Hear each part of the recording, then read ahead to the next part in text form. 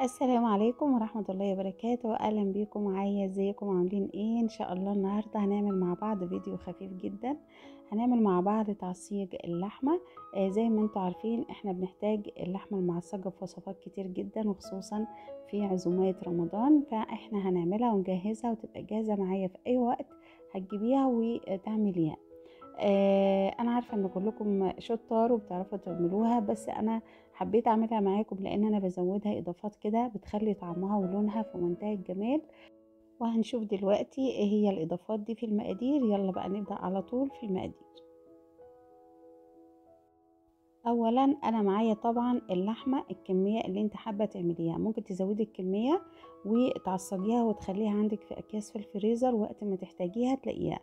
طبعا كمية البصل على قد كمية اللحمة. معايا كمان التوابل فلفل أسود بابريكا بصل بودر توم بودر كمون وكزبرة وكمان توابل اللحمه ممكن تحطي كمان السبع بهارات. الإضافات بقى اللي أنا بزودها عبارة عن جزرة مبشورة وكمان قرن فلفل أخضر. ممكن تزودي كمان فلفل حار لو أنت حابة. وكمان الإضافة التانية عبارة عن معلقتين صلصة أو عصير طماطم بيدوها لون حلو قوي وكمان بيطعموها قوي. تمام؟ آه أول حاجة هنعملها مع بعض هنحط كده زبدة مكعب زبدة ومعلقتين زيت في حلة بمجرد ما يسيح الزبدة هنبدأ نحط البصل ونقلبه كده بسرعة. آه أنا عايزة البصل يدبل بس مش عايزاه يحمر كده ويغمق معايا. تمام؟ هاخده تشويحة كده مع الزبدة وأبدأ أحط بقى إيه الخضار. أنا آه حطيت الفلفل والجزر زي ما قلت لك آه طبعا آه الخطوة دي اختيارية بس بصراحة هي بتديها طعم حلو قوي وكمان بتزود القيمة الغذائية بتاعتها يعني. كمان حطيت التوابل علشان الريحة بتاعتهم تطلع كده مع البصل بتبقى حلوة قوي وحطيت اللحمة ده كيلو من اللحمة المفرومة.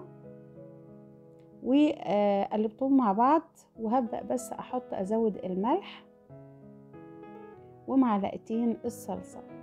زي ما قلت لكم الصلصة بتديها طعم حلو وكمان لون أحلى. هقلبها مع اللحمة وهحط بس يعني تقريبا ربع كوباية مية علشان اللحمة والصلصة يبدأوا يغلوا مع بعض كده بربع كوباية المية.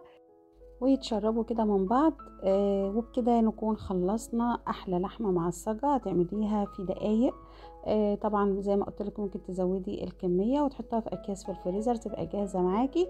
أتمنى فيديو النهارده يكون عجبكم. آه بس لو عجبكم ما تنسوش اللايكات والاشتراك في القناة وتفعلوا زر الجرس للكل علشان يوصل لكم أي فيديو جديد بنزله. وكل سنة وأنتم طيبين. والسلام عليكم ورحمة الله وبركاته.